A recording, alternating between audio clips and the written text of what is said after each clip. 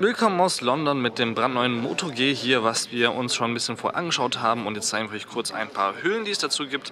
Wie zum Beispiel hier dieses äh, Flip Case. Das ist nicht nur ein Flip Cover, denn ähm, das ist echt hier auch hinten um das Gerät herum. Ich kann es euch kurz zeigen, denn ich habe das Handy einfach mal jetzt hier so abgemacht, beziehungsweise die Hülle abgemacht auf der Rückseite. Und die ist echt stark drin. Die hat mehrere Punkte, mindestens ähm, sechs bis acht Stück, wo wir das hier Ganze rausnehmen können. Aber ähm, durch dieses Case sind natürlich sozusagen die hinteren Ecken dann auch geschützt. Hier beim Weißen kann man das auch ganz gut sehen sehen, dass es eigentlich so ganz schön dann designt ist. Ein schlüssiges Design vorne schön schwarz und dann ansonsten das Gerät äh, auf der anderen Seite entsprechend die Farbe.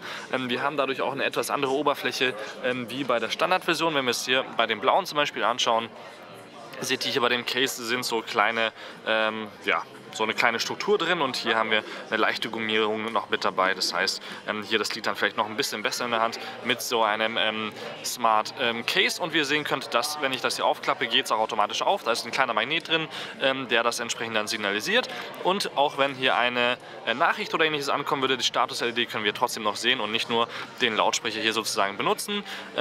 Und weitere Funktion ist auch noch, dass das Ganze hier, wie gesagt, einen Magneten hat, der anscheinend, wenn ich das Ganze hier über Kopf halte, auch nicht so einfach aufgeht, außer ich schüttel das vielleicht etwas stärker und dann klappt das natürlich auf. Also das ist auch, finde ich, eine Funktion, die äh, manche andere Hersteller leider immer vernachlässigen, aber eigentlich ganz schön ist.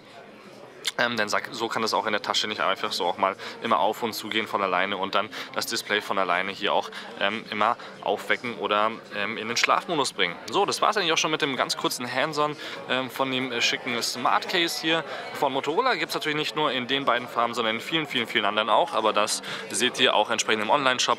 Bis zum nächsten Mal, mein Name ist